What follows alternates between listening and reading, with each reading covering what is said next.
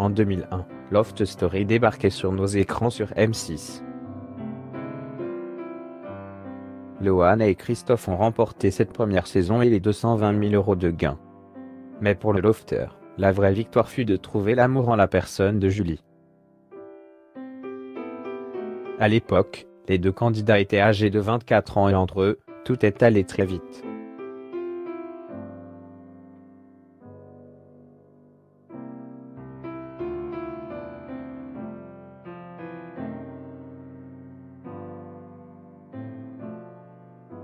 En effet, quelques jours seulement après leur entrée dans le jeu, Julie a déclaré sa flamme à Christophe. En revanche, la jeune femme avait mis un point d'honneur à ne pas aller plus loin avec lui. C'est ce qu'elle a elle-même révélé dans un dîner presque parfait spécial Loft Story avec Christophe. Pour animer la soirée, Julie a décidé de faire deviner à ses invités quel candidat avait déclaré quelle phrase culte.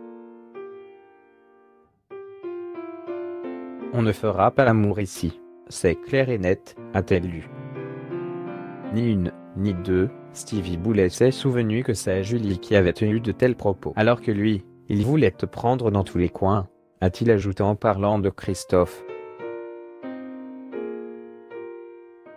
Finalement, tous ont fait comprendre que le couple avait bel et bien connu des rapprochements physiques.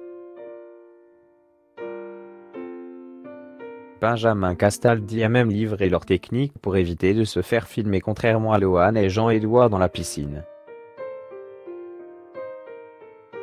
Je vous dis comment il faisait point, il y avait une grande table dans la salle à manger.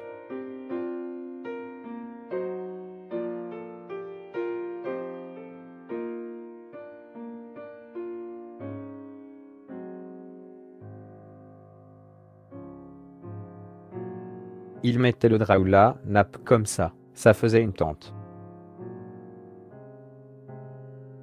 Ils allaient dessous avec un matelas et la sacar touchait verres, a lâché l'animateur.